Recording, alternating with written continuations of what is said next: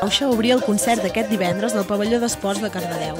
Els de Sabadell encomanaven el ritme al públic oferint treballs del seu últim disc i rememorant alguns dels seus temes més identificatius. Els segons en tocar eren Carles Belda i el conjunt Badabadoc. Amb el públic ja escalfat i les seves lletres, donaven bones raons per ballar i cantar. A so d'acordió, continuava així la rumba al pavelló. Però els més esperats i els encarregats de tancar el concert de divendres eren Brahms. El grup Berguedà, amb tot al capdavant, encarava la nit amb ganes i cantava al públic temes de la seva actual gira.